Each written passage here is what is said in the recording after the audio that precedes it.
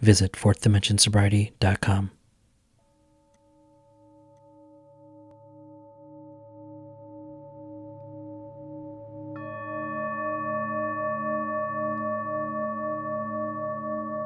On awakening, let us think about the 24 hours ahead.